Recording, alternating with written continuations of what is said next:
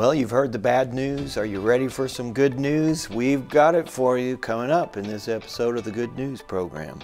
The program you are about to watch is part of a free series we're making available to you as a gift from Greg Fritz Ministries entitled Living in the End Times Without Losing Your Mind. Visit gregfritz.org to download the MP3s or watch the streaming videos for free.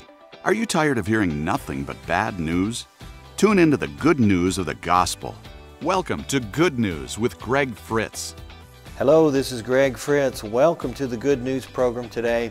We are in the process of teaching out something that's been in my heart for a long time, and I've entitled it Living in the End Times Without Losing Your Mind. You can get the study notes uh, from this teaching from A to Z on our website, and also we have it available as a free download. You can get the audio or you can stream the video uh, immediately. All 20 episodes can be yours absolutely free. You can go to our website on the homepage and get that. We would love to hear from you. We are hearing from more and more people all the time. When I started this program, I it, it was a total faith venture. I was, you know, I didn't know if anybody was ever going to watch. But we are getting reports from people, and it is heartwarming. It is so encouraging for me to know that you're out there. I'd love to hear from you. You can call us or send an email, go to our website and leave a testimony. I read them all. I see your names. I pray for you. I laugh. I, you know, a lot of people will write in, and, and you'd be surprised how many people comment on my shirts. And I traveled for 30 years in churches, and I don't think anybody ever commented on my shirts, but uh, it, it, seems to be a thing. So, um, you know, go ahead, take your best shot. Here's a shirt. Let me know what you think about it. In fact, I wore this shirt on this program, this episode, just because you can't say, I mean, really, can you say much about this one? It's just gray. It's a gray shirt. So uh, let, let, me know what you think. Um, I know some people have their favorites and their least favorites. Uh, but we, we just love our interaction with the people. Thank you so much for being part of this audience. I believe we're doing something that's, that's the will of God, that's right on time, and it's just what God wants. And, and you know what? I hope you appreciate the, the fire. We, uh, we don't have to turn that on, but let me know what you think about the real flames. And believe me, they are real. I sweat drops gallons of sweat so that we can have that fire. My TV guy wants the fire on. You have to do whatever they say. You know, you have to, you know, submit. But uh, uh, that's a real fire, and it gets so hot in here because of it. But we do it all for you. We want you to have a good experience. In fact, when I started making these programs, that was the one request that I had. I said, please uh, make the program excellent. I, I, don't want people to look at it and turn away because it looks cheap or cheesy or fake. Uh, we want them to see something of quality because I believe that the Word of God is quality. The anointing of God is quality. So we wanted every level of our outreach to reflect that. So hopefully you like the program. Many of you listen on podcasts and you don't see any of this. And, uh, and, that's fine too. In fact, I, I'm more comfortable speaking behind a microphone than, a, than in front of a camera, believe me. But um, we are, are, are just exploring new ways to get the word out, and it's working. It is working. There's a good news audience out there all over the world, and we love and think of you all the time. We pray for you, and I prepare messages just for you. You'd be surprised how many times during the week I'll think of something or see something or learn something and think, oh, this is going to be good for my audience. They're going to love this. I'm going to save this. And I'll write it down or I'll memorize it, and then we bring it straight to you. I'll tell you, there's a pipeline here that God can use. Uh, to get tremendous amounts of truth and revelation through me to you. And that's what it's all about. So thank you for being there. Let's go back to John chapter 3. I love this encounter that Jesus had with a religious man. This will help us as we relate to people. And I'm going to make this statement again. You probably feel this way as, as much as I do, but there would be hardly any stress left in your life if we could just get rid of all the people People cause most all the stress that we deal with on a daily basis in our lives. But we can't get rid of all the people. You can't isolate yourself and live on an island or in a cave. We've got to deal with people. In fact, we have a responsibility because we're Christians to reach people. We have a message that they need to hear. We have a Savior they need to meet. We've got truth that they need to understand. And so we're going to constantly relate to people as long as we're here. And Jesus gives us a great example of this in John chapter 3 as he relates to this religious man. I'm just going to read through this. If you want all the teaching on it, get the series or download the MP3s or watch the streaming video.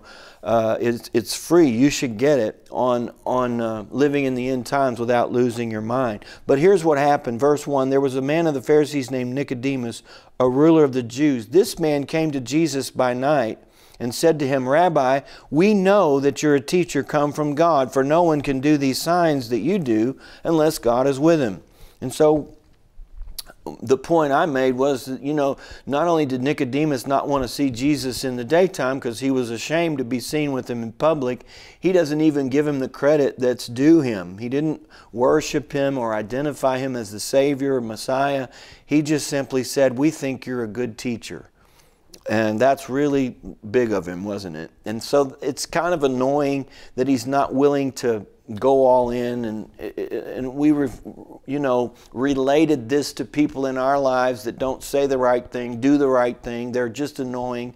And we want to have compassion and love toward these people rather than anger and bitterness and, and, and being just irritated with them. And Jesus didn't let these things bother him whatsoever. Nicodemus should have asked a question of the Lord if you ever get God's attention in a physical, natural way like that, ask him something, you know? But Nicodemus just sort of said, We just think you're a good teacher. And Jesus did something that's most remarkable.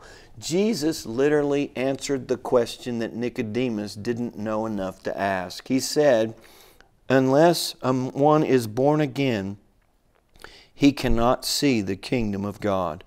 To me, that answer, that response to Nicodemus shows more restraint, more love, more mercy, more compassion than anything else Jesus could have done.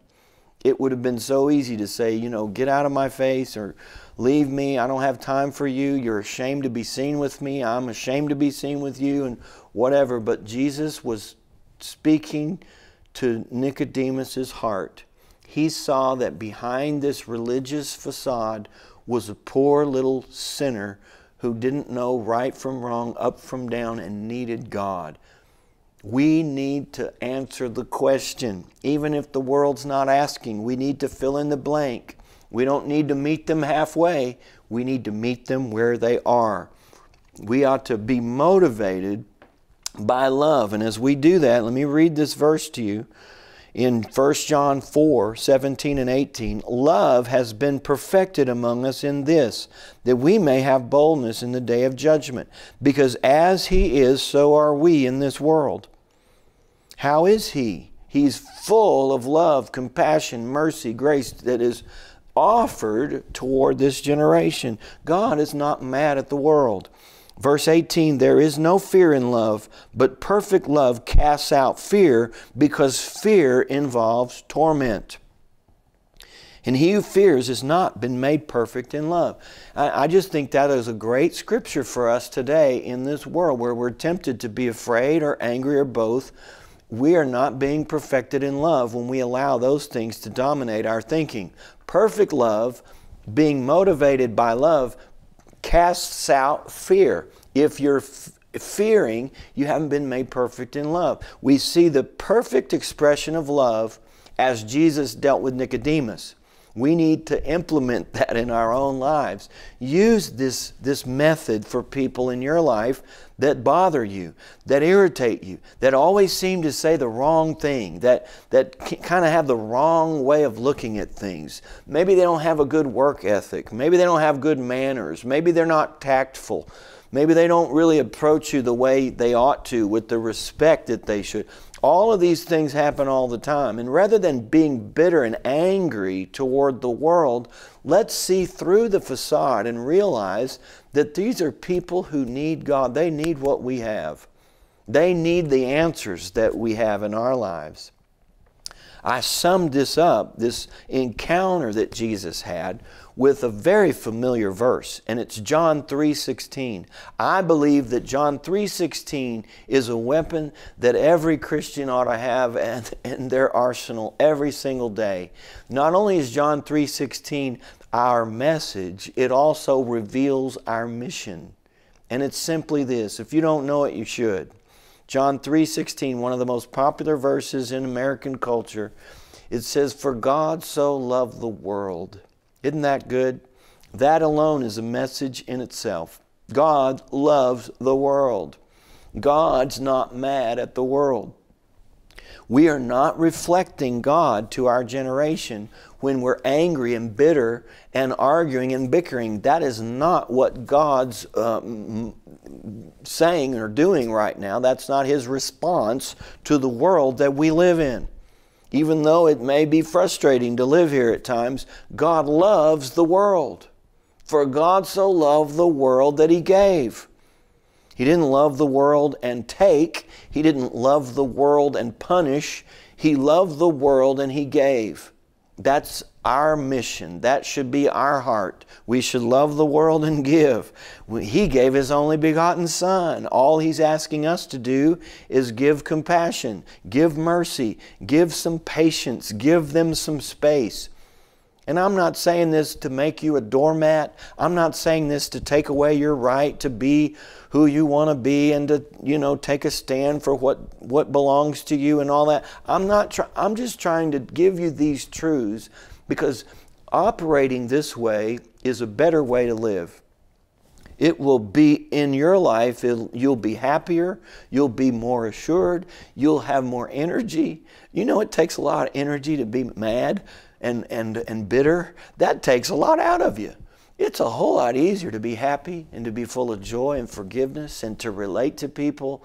I don't have a bone to pick. I'll tell you, I watch things now on the news and see different political parties fighting one another and newscasters giving their viewpoint.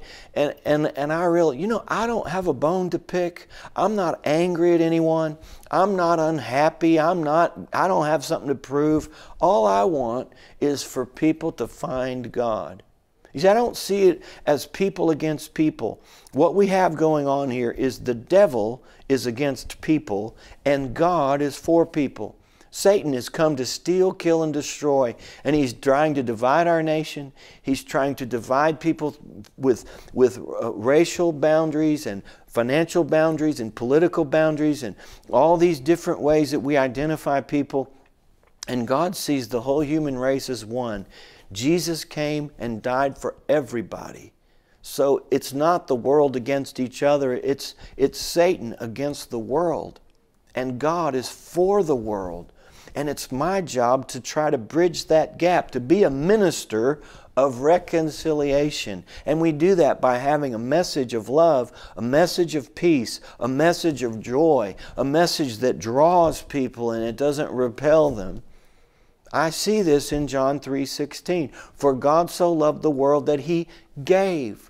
We love the world and we give. We don't have to give our only begotten Son, but we need to give our patience and we need to give our love, our wisdom, our, our understanding, give people space.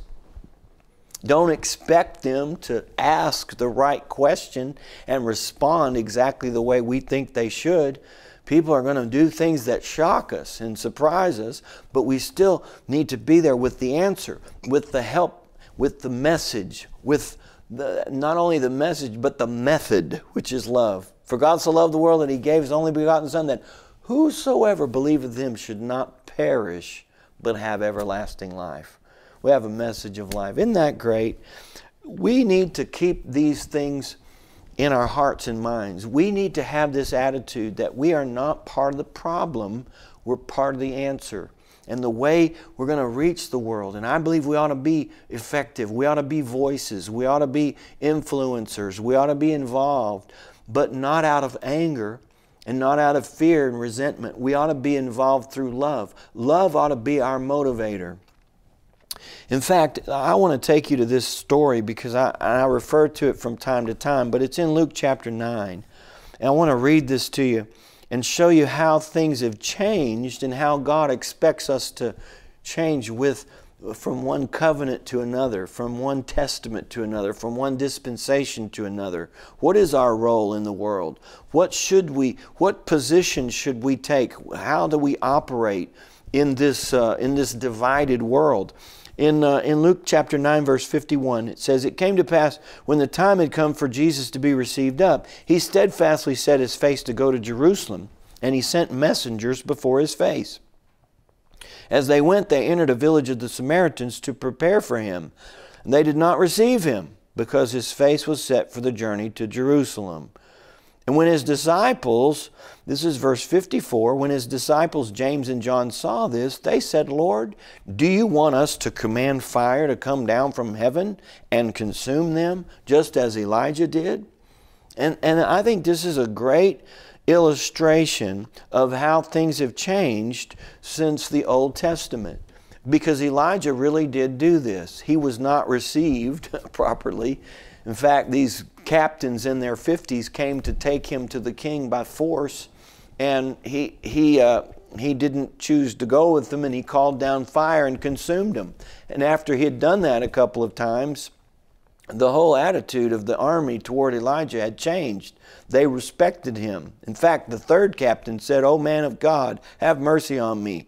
And if you've ever been in the ministry or preached to people, you'd think, now that's more like it.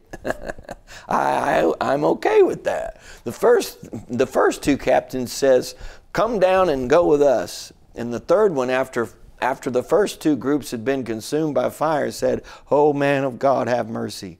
And, and this, is, this is what James and John were, were reading and referring to. They were used to these Old Testament prophets of fire and brimstone and, and judgment and harshness.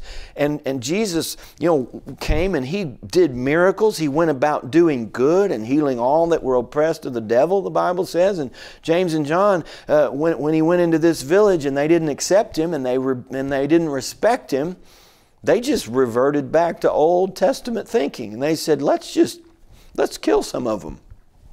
Can we just call down some fire? I guarantee you their attitude would change if we just consumed some of them. We don't have to kill them all, just half of them. Let's just consume them with fire, Lord. Let, let's, and, and I'm sure they're thinking, Lord, you're just too nice. You, you, you just, all you do is bless people and they, don't, and they take it for granted. Let's kill some people. Do you know how easy it is to have that attitude? It's easy to think that way when you're surrounded. You know, let me use this illustration. You, you've seen the t shirt that says it's hard to be an eagle when you're surrounded by turkeys. And, and, and you feel like you're in the world, you're just full of, it's just full of crazy people they have all these ideas and and and you just you just feel like have I have I been did I did I go to sleep and wake up in a foreign world? What has happened to the world? But Rather than than have this idea of anger and retribution, I have to remind you, we're in a New Testament, a new covenant. We have a new position now. We're not Old Testament prophets killing people. I'm sorry to tell you that. I know that's very tempting at times. But here's what Jesus said. He said in verse, this is Luke 9, verse 55, he turned and rebuked them. And he said, and now they were only trying to do it for his own benefit. They were just trying to get people to respect him, but they were going about it the wrong way. Did you know you can have good intentions and you can have people's best interests at heart, but you can go about it the wrong way? If you're out there attacking and yelling and fighting and bickering and angry and hateful, eh, eh, that's not the right spirit. Think of John 3:16. For God so loved the world and say this, and so do I. You could say God's not mad at the world. Neither am I. God's not angry with people and ready to kill them, and neither am I. We need to reflect God and the new covenant in this dispensation of grace. Whether you like it or not, everything changed when Jesus was raised from the dead. And Jesus is trying to prepare them for this new way of ministry that they were not used to. He rebuked them and said, You do not know what manner of spirit you're of. For the Son of Man did not come to destroy men's lives, but to save them. I just think that is a mouthful. When you take that statement and you put it with John 3:16, you have a good idea of how we are supposed to relate to our world. Jesus did that with Nicodemus. He didn't threaten Nicodemus. He didn't resent Nicodemus. He didn't send him on his way until he had a change of attitude. He met him where he was. He related to him with love and compassion, and he won him. He won Nicodemus. We hear about Nicodemus later on. Did you know when Jesus died and, and his body was in the tomb? Nicodemus came and, and helped prepare his body for burial. Nicodemus was a lifelong convert, no doubt. But it happened in a moment where Jesus had compassion when he didn't have to. He could have, uh, he could have ignored him. He could have refused to meet with him. But God so loved the world that He gave. He gave His only begotten Son. That sense of love and compassion and giving should dominate our thinking. It's a better way to live. Can I just say, you don't want to go back to Old Testament days. That's not a better way to live. That's not a better covenant. It's a worse covenant. And so when, when you want to give people what they deserve and you're angry and hateful, you're not he said to the disciples, James and John, you don't know what manner of spirit you're of. They had uh, not unknowingly gotten onto the wrong track, followed the wrong spirit. And he said, "You don't we don't do that anymore. That's not the way we live life. We have the supernatural agape love of God that can dominate now, and that love never fails. Judgment doesn't always work. Fear doesn't always motivate, doesn't always change people, but love never fails." Why use a lesser weapon when we have the greatest weapon of all, the love of God? If you'll develop the love of God and see the value of it that's inside of you, you can release, you can trade anger for love. You can trade bitterness for love, fear for love, and walk in the love of God and be a force in these last days. Fear involves torment, and perfect love casts out fear. There is a key here to living life in the end times and not losing your mind. And the key is live like Jesus did. Let love dominate you. If you're out to get people, it's not going to go well.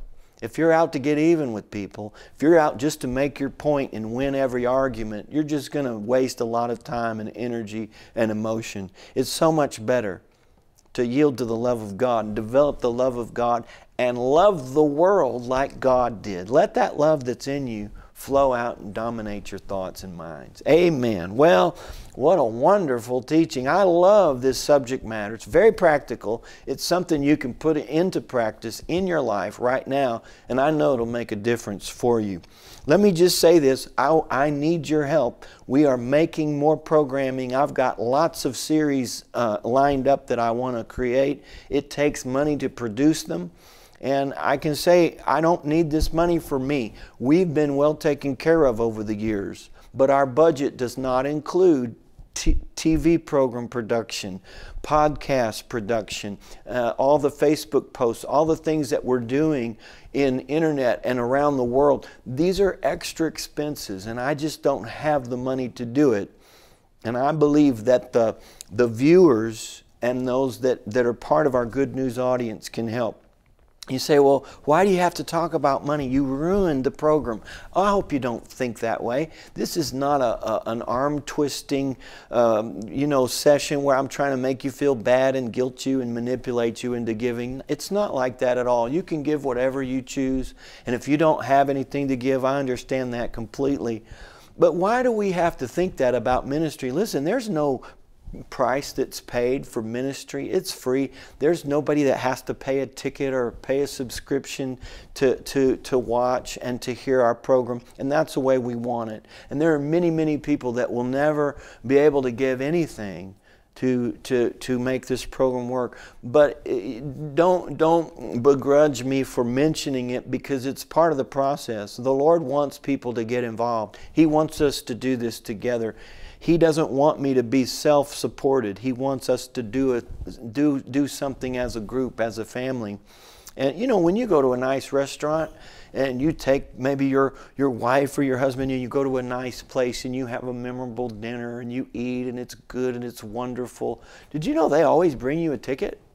Wouldn't it be odd if you got up and said, How could you ruin this nice meal by talking about money? How dare you bring this ticket to this table at a moment like this? Get out of here. No, you expect it. You understand if you're going to eat at a nice restaurant then they're going to talk about money. So from time to time we bring it up, but we don't even do it like a restaurant. We don't demand that you pay, but we do make this opportunity available and people are responding. We're believing for 500 partners and people are responding, people are partnering with us, people are giving, and we want to say thank you, thank you, thank you. I couldn't do it by myself, and you know what? I wouldn't want to.